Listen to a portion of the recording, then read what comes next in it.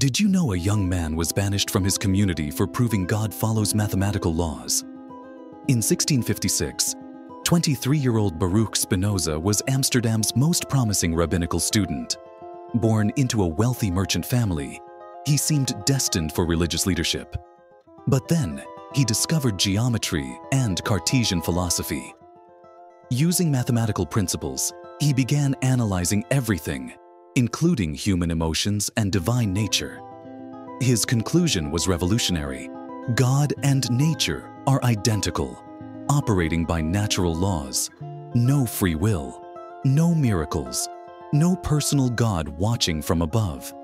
When religious authorities learned of his geometric approach to ethics, they panicked. The excommunication decree was brutal.